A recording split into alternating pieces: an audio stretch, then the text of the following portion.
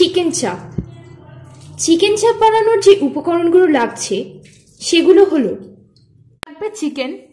চিকেনটা এক ঘণ্টা ম্যারিনেট করে রাখা রয়েছে। আদা বাটা, রসুন বাটা, টক দই আর গোলমরিচ বাটা দিয়ে।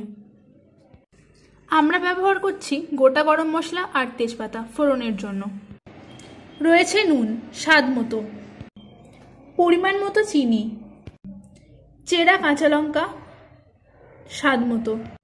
লাগছে কাশ্মীরি রেড চিলি পাউডার রয়েছে পোস্ত, চারমগজ আর কাজু বাদাম বাটা। একটা টমেটো। লাগছে সাদা তেল।